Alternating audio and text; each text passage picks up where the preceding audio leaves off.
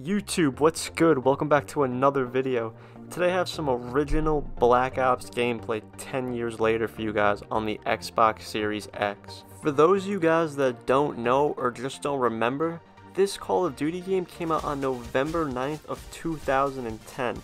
This was Treyarch's second game in the Call of Duty series and it's been out for over a decade now. I remember when this Call of Duty game came out and I went and got it the day of I played this game so much, and that is why I was so excited to hop back on it, especially on next gen. Luckily, there was still a fair amount of people playing multiplayer, so I was able to get into a few games on some of the greatest maps.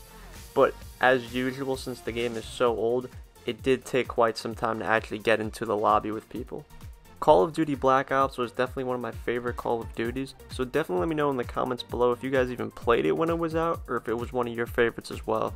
This game introduced so many good maps that are still fan favorites to this day, and that is why they have been remastered multiple times. Obviously, Nuketown being one of the fan favorites that's been brought back in every single Black Ops ever since this game has come out. Other maps being Firing Range, Summit. If you guys haven't noticed, I have some gameplay of Summit in the background right now. This was honestly such a great map and it has been brought back in another Black Ops series game. Something else you guys will notice is that I'm rocking with the AK-74U and if you guys use this gun, you definitely remember how crazy it was. In this Black Ops series game, if you guys don't remember, they only really allowed you to use one attachment on your gun, which is crazy to think about now since we can have like seven or something like that. But back then, you were only allowed to have one attachment. And that was honestly always enough for these guns because they all played pretty well and they were all very balanced when it came to this game. As you guys will notice in the gameplay with a lot of these guns, there isn't a lot of recoil at all, so it was definitely easier to control back then. This Black Ops game also introduced us to so many new customization options for our guns, our player cards, and our characters in general too. They gave us the ability to make our own emblems, which was very cool because you always remembered people having pretty cool ones that you never seen. They also gave us the ability to have different reticules on our guns, as well as different lenses from when you actually zoomed into your gun. We definitely had a lot more freedom in this Call of Duty opposed to other ones that we had previous to this one, which was very cool and it was very different overall. In this Black Ops game you had tasks which would earn you money when you completed them and you would save up that money to pretty much buy anything in the game when it came to guns, camos, attachments, and a specific camo being gold camo. The gold camo cost, I believe, was $50,000 in this game, which did definitely take some time, but there was no camo challenges to it, it was just buying it. This was definitely something new that we hadn't seen before, so it was really cool to have the ability to save up that money and get the gold because it looked very good in this game. This was the game that also introduced 15 different prestiges, which was very different since we were only used to 10, in this game you only had 50 levels in order to prestige opposed to 70 in Modern Warfare 2 which was the prior game to this but it was still very cool. All 15 of the prestige emblems looked really cool too. They weren't some nonsense that we have nowadays on some of these Call of Duties.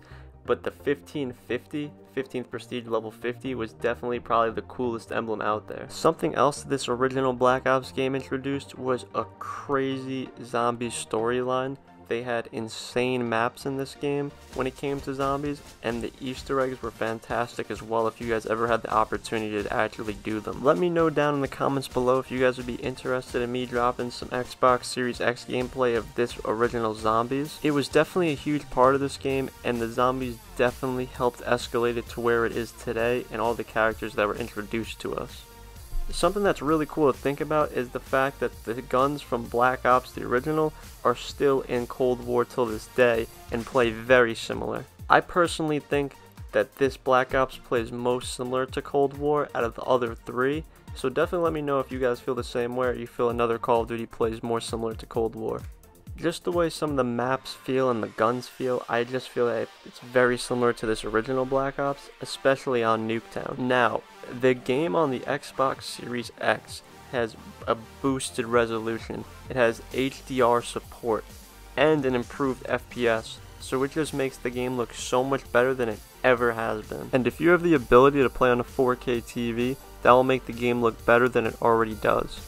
The multiplayer in this game had so much to offer. They were consistently dropping new content for us all to play on and it just made the game so much more fun. For those of you that don't know, back then there was no battle passes or anything. It was all map packs that you had to pay for and they dropped every couple months but they were definitely worth it in this game. Something that was really cool that Black Ops had was something called wager matches, and basically what this was was like more of a party game. There was something called one in the chamber, where you only had a couple bullets and you had to make every bullet count essentially. And then when you killed an enemy, you'd get another bullet, so it was based around your accuracy and never missing a shot in order to win the game. A few of the other ones they had were Sticks and Stones, Gun Game, and Sharpshooter. These game modes were more for when you wanted to play more of a relaxed game opposed to a competitive multiplayer game, if you had a group of friends to play with, they were also a lot of fun to do. Other than these game modes, there was a few other game modes that the game had that were really good, one of them being Demolition. Demolition was probably one of the game modes that I played most with a group of people. It was a game mode that lasted a lot longer in this game, and it gave us the ability to get a lot more kills, which I really enjoyed. Something else that was a lot of fun to do in this game was custom matches, and that's because it allowed you to change so many different settings. A couple of them being your health obviously, but another one was your speed. You're able to adjust your speed to go like significantly quicker than you normally would, and it made the game modes a lot of fun and introduced a few different game modes from that. Another great memory on this Call of Duty was the streaks. Some of these streaks in the game were so much fun to use and get, as you guys will see in the gameplay, I had some Chopper Gunner gameplay, and that was definitely one of the best streaks in the game, and it wasn't even that difficult to get, especially if you were running hardline. Another one of my favorite kill streaks is probably one of the most iconic kill streaks in Call of Duty games, are the attack dogs. This streak was insane to get. It was definitely a higher kill streak, but it was so worth it if you got them. Something that I've definitely noticed with the more recent Call of Duties is the fact that some of the kill streaks are just not worth it to run at all because they're simply not good for what they're worth. Obviously, it's not a good feeling when you work towards a 10 kill streak or 10 plus kill streak and you finally get it, and then it just gets destroyed, whatever it is, very quickly. Something that I really liked about Black Ops was the fact that it's obviously an older style Call of Duty, so when you were prestige and things like that, you would lose everything. This is something that would be seen by other players when they joined your lobby. They would see how much effort that you put into the game in order for you to be where you were. As I mentioned before, with this Call of Duty came a lot of customization options, and you didn't have all of them right off the rip, so you had to level up in order to get them. So it definitely gave you an incentive to level up as much as you can so you were able to unlock and use all of them. As you guys will see in this next clip right here, I'm playing Firing Range this map is definitely one of the fan favorites, right up there with Nuketown. As you guys will be able to see, this map just looks fantastic for a game that's 10 years old.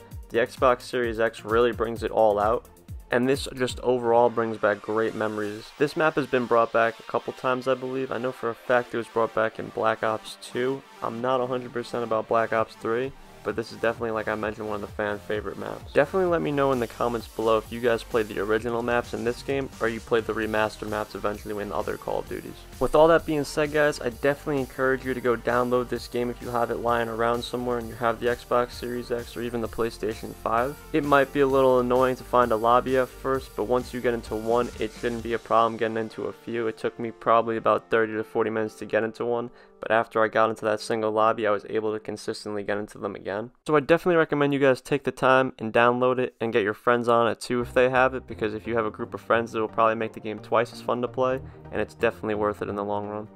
And with all that being said, if you guys did go on to enjoy today's video, definitely drop a like down below and consider subscribing to see some more Call of Duty Warzone content. I'll be dropping more older Call of Duties on the Xbox Series X, and I already have on Modern Warfare 2 if you guys are interested in that. Definitely check it out. I'll see you guys in the next one. Take care of yourselves. Peace.